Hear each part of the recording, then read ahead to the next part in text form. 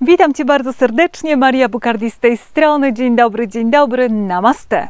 Z całego serca zapraszam Cię na nasze nowe uroczyste spotkanie, gdzie będziemy mówić o nowym początku. Jak uwolnić się od tego, co stare? Jak wyrzucić za burtę zbędny balast, który Cię ogranicza na Twojej nowej drodze? Jak się uwolnić od negatywnych doświadczeń, od ludzi, którzy cię ograniczają, od wszystkich powiązań i otworzyć się na to nowe i piękne.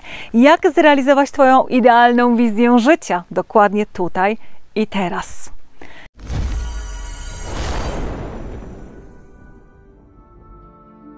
Kolejna nowa ceremonia o numerze 220 wkrótce dostępna na mojej stronie bukardimaria.com w zakładce ceremonie guziczek ceremonie serii powyżej 200.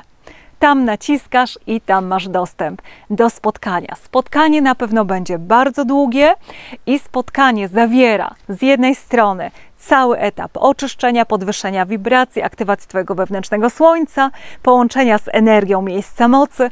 Później masz całą symbolikę 220, potem masz dokładne wskazówki, jak je zastosować w Twoim życiu, a na samym końcu medytacja, mini medytacja fioletowego promienia, czyli jak uwolnić się od tego wszystkiego, co Cię ogranicza, jak otworzyć się na to nowe i piękne, które możesz zastosować dokładnie w momencie, gdy czujesz, że coś pragniesz zmienić w swoim życiu.